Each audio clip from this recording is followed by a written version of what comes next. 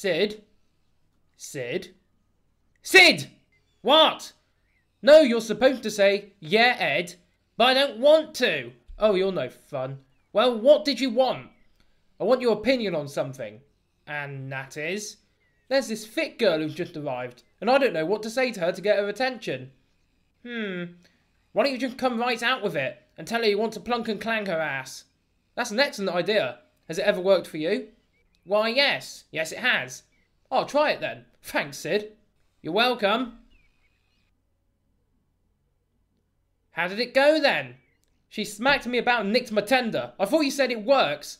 Oh, yeah, I forgot to tell you I lied. Oh. Well, gee, thanks, Sid. You're welcome.